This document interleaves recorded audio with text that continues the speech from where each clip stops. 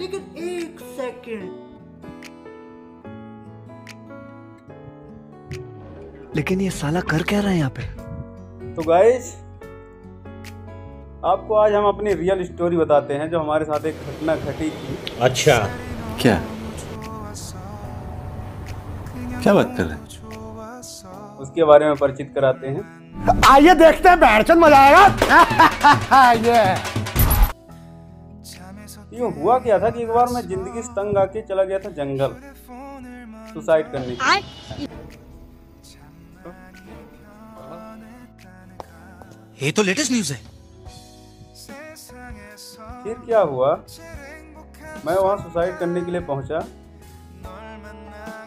और जैसे ही सुसाइड करने का प्लान बनाया तो मैं अगल बगल देखा कहीं बंदर दिखाई दे रहे हैं कहीं सांप दिखाई दे रहा है। कहीं सुअर दिखाई दे रहा है। नहीं नहीं नहीं सारुण के यहाँ कुछ तो गड़बड़ है। यार मरने के बाद गड़बड़। अगर मेरी यही ज़िंदगी मिली कहीं मैं सुअर बन गया तो? भाई कसम से आप यकीन नहीं मानोगे। उसने वह इतना बढ़िया मोटिवेशन मिला है उसके बाद मुझे। आज तक मेरे मन में कभी मरने का ख्याल नहीं है।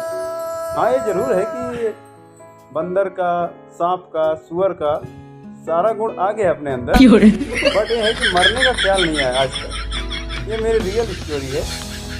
आप लोग कभी सुसाइड सुसाइड करने का मन करे तो आप लोग सोच लीजिए एक बार कि मरने के बाद क्या मिलने वाला है। समझ रहे हैं ना?